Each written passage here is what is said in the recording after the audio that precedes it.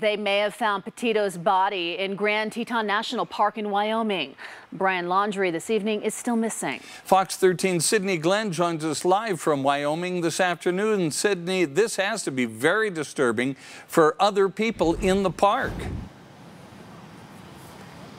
very disturbing and very unsettling is what we've heard today. Everybody from here in the national park all the way to Jackson Hole, which is about 30 miles away, talking about this case and saying it's just really unsettling to hear something like this happening in these beautiful mountains on what should be a fun trip to see all nature has to offer in Wyoming. Didn't expect that one coming here. A dark cloud looms as news spread of Gabby Petito likely being found dead. It's a little scary when you hear about such things. Kyle Johnson and his fiancee Courtney Muchler say it's scary. I would say it definitely is. Just because you don't know what exactly happened, you don't know who could be out there exactly. Husband and wife Nilesh and Sharu Singh have been closely following this case ever since they booked the trip.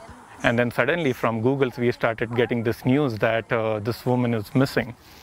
So suddenly on daily basis, it started to appear on my news feed. Now seeing law enforcement here, they're feeling uneasy. Uh, we've just been trying to keep our eyes yep. and ears open and just to know what's happening and what's the government doing about this and how safe are we really. This news has kept us like always checking the news, following it, and not go off trails.